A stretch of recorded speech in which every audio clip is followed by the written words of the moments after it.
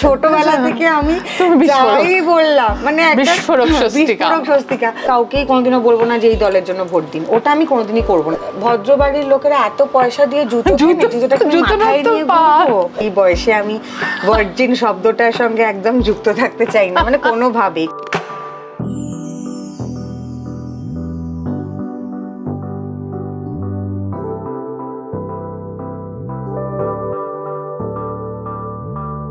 এটা একটা টাইপ কাস্টই বলব বা জানি না মানে অভিনয় করতে যারা আসছেন এখন বা আরেকটু করেওছেন অভিনয় ওই যে একটা ব্র্যান্ডের ব্যাগ হ্যাঁ মানে সেইভাবে বাংলা নায়িকারাও নিজেদের প্লেস করছেন।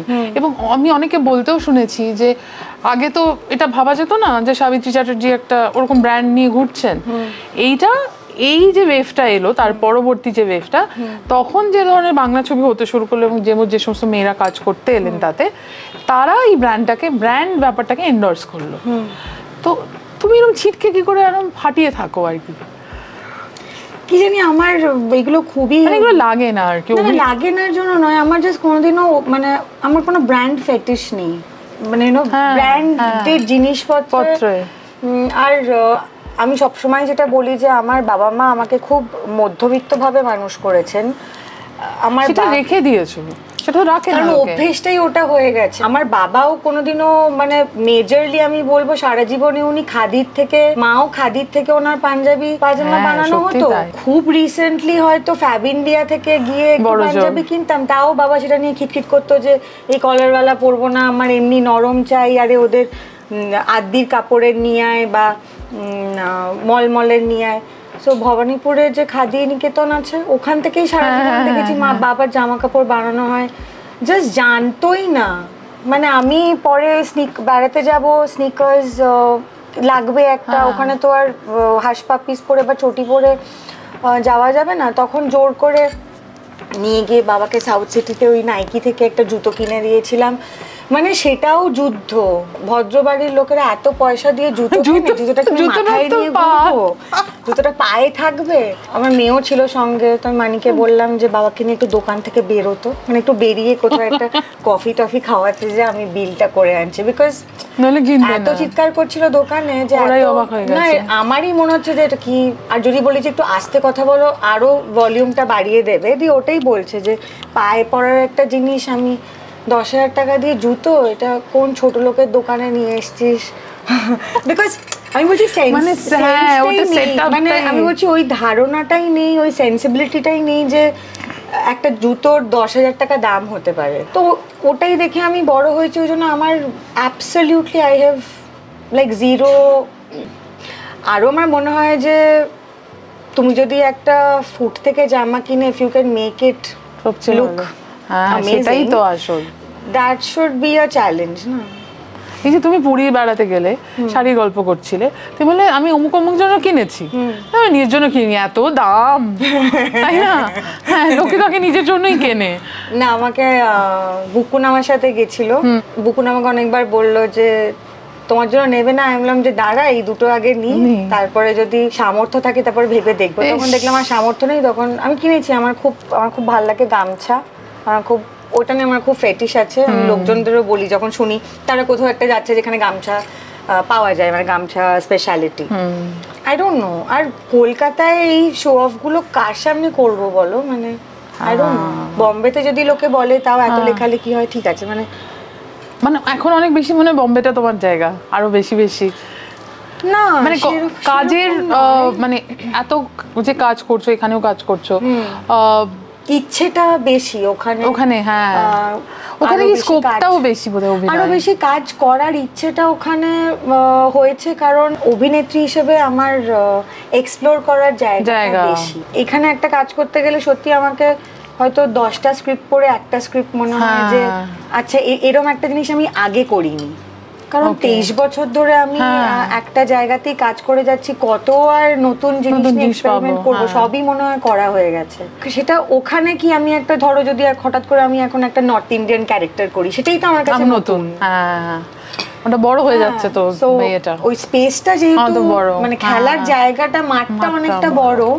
সেই জন্য আমার কাজের দিক থেকে আমার এক্সপ্লোর করার জায়গাটা। ওকে নিয়ে যে কত কি করা যায় মানে ওর অভিনয়, অভিনেত্রী, ওর ভালো কাজ, এখানে ভালো কাজ, বম্বেতেও দারুণ কাজ করছে এখন মানে সেগুলো আমরা সবাই জানি। কিন্তু মানে আমার মনে হয় যেগুলো এখন স্বস্তিকাকে নিয়ে কিছু হয়নি, সেগুলো তো সাধারণ ব্যাপার। মানে ও এত ভার্সাটাইল সব দিক থেকে।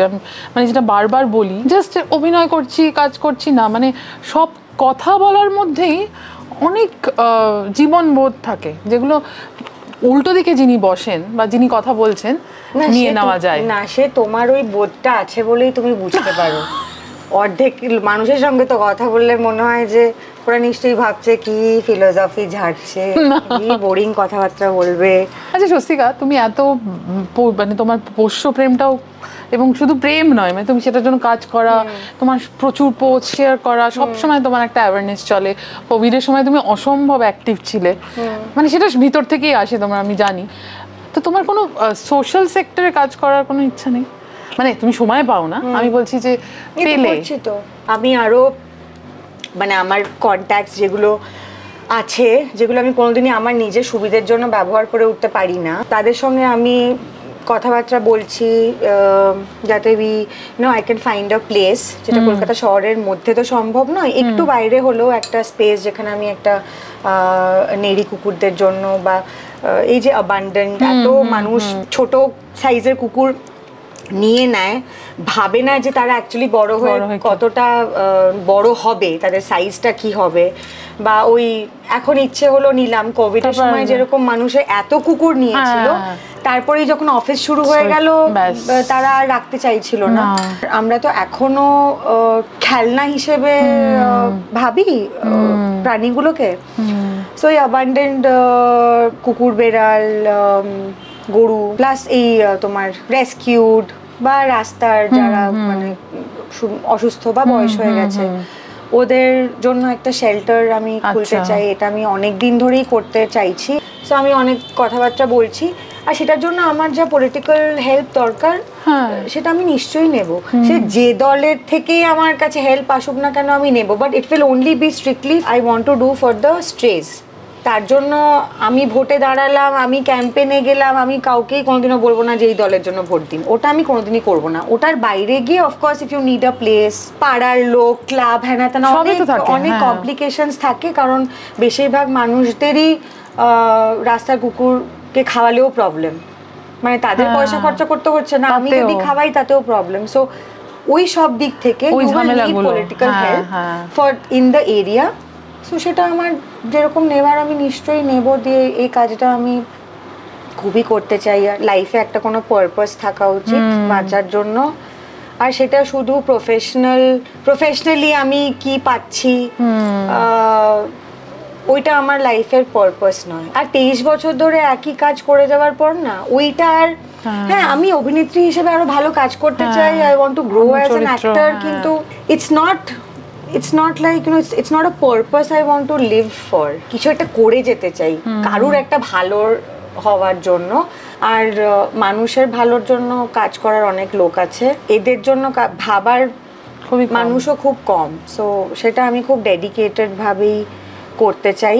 ইনফ্যাক্ট আমার এই মানে হয় না আলোচনা হয় যে ইনস্টাগ্রামে ফলোয়ার্স বাড়ছে না হ্যাঁ, এই হচ্ছে না মানে।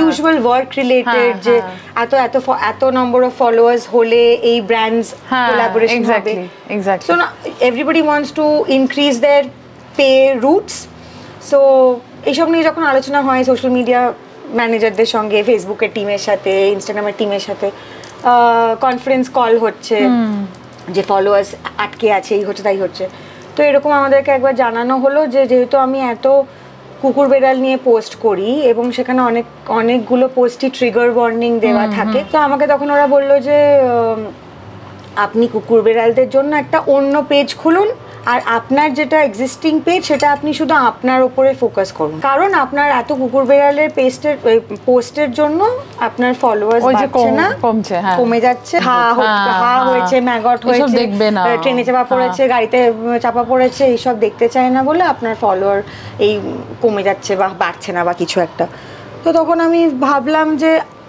আমার ওয়ান পয়েন্ট ফোর বা ফাইভ মিলিয়ন ফলোয়ার্স সেই বেসটা আমি কাজে লাগাতে চাই বলেই তো আমি আমি আমার ওখানে পোস্টটা করছি যাতে হ্যাঁ। আরও বেশি মানুষের হ্যাঁ। কাছে খবরটা যায় আমরা ডোনেশন তুলতে পারি। কারণ আমার একার পক্ষে আমি কি করব? আমার এমনি মাসে পাঁচটা ছটা এনজিওতে আমার মাসের টাকা যায়। প্লাস আমার অনেক অনেক কুকুর আছে যেগুলোকে আমি ভার্চুয়ালি অ্যাডপ্ট করেছি কারণ তারা অন্য শহরের। তো তাদের তাদের কার পা নেই? কার মানে দুটো পা নেই কার মানে একটা পুরো শরীরের পার্ট কাটা পড়ে আছে। ওদের যে প্যারালিসিস বাচ্চাদের জন্য যে এখন কার্ডস পাওয়া যায় সেগুলো কিনে দিয়েছি যে অভ্যেস করবে সেগুলোতে হাঁটানোর জন্য। তো সেই সব ফান্ডসগুলো যায়।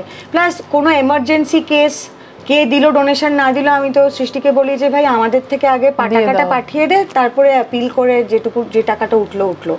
না আমার পক্ষে তো আর না হাজারটা জিনিস হ্যাঁ, করা সম্ভব না। সো আমি বললাম যে আমি তো একটা আলাদা পেজ খুলি শুধু কুকুর বেড়ালদের নিয়ে না। পোস্ট করব ওখানে ফলোয়ার কোথা থেকে পাবো? লোকে জানবে কি করে? সাহায্য পাবো কোথা থেকে? বা এই নেটওয়ার্কটা যে এত কষ্ট করে দু তিন বছর ধরে বানালাম ডগ রিলেটেড। এনজিওস বললাম সেই সেই কাজগুলো আমি ওখান থেকে করব কি করে? বললাম যে ধুর ছাড় ওই ফলোয়ার বাড়ানোর দরকার নেই যেরকম নর্মাল ওয়েতে বাড়ছে বাড়ুক কারণ এটা আমার কাছে একটা প্রায়োরিটি। হ্যাঁ মানে আমার অতি সুন্দর ফটোশুটের ছবি পোস্ট করার চেয়ে এগুলো আমার কাছে বেশি ইম্পর্টেন্ট সো এই সব আর কি।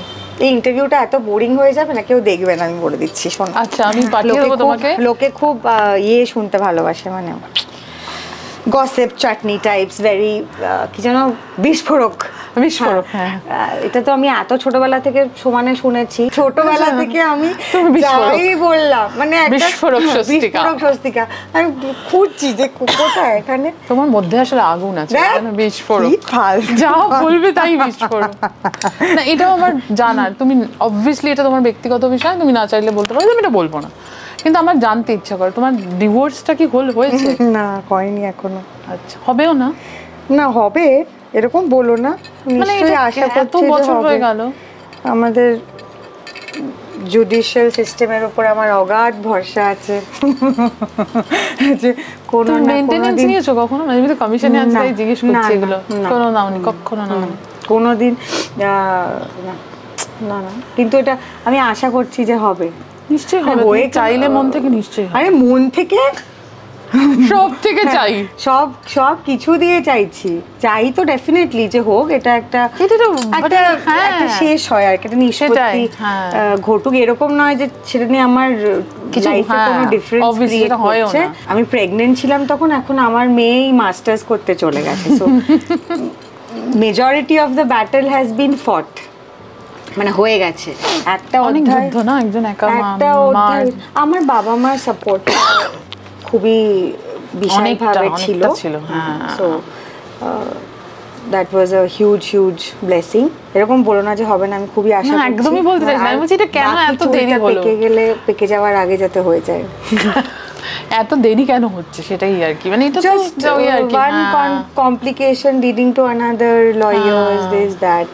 আর আমারও হয়তো একটু মন দিয়ে অ্যাগ্রেসিভলি এটার পেছনে পড়ে থাকার আহ, উচিত আমার মা অনেকটাই সামলাতেন।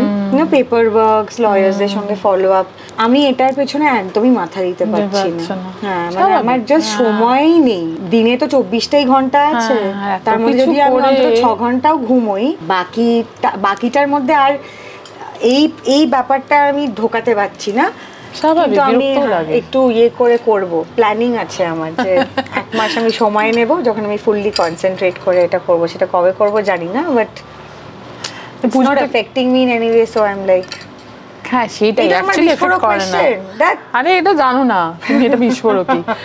পুজোতে তুমি এখানে থাকবে না বম্বে না না পুজোতে আমি সবসময় কলকাতায়। কলকাতায় অল আচ্ছা। দ্য টাইম কারণ পুজোর প্রচুর ক্ষেপ থাকে। হ্যাঁ হ্যাঁ সেটা ওটা করাই উচিত সলিড রোজগার। করার সময় এবং আমার মা ঘটে পুজো কর দুর্গা পুজো করতেন ওই একটাই জিনিস আমি মেনটেন করে গেছি।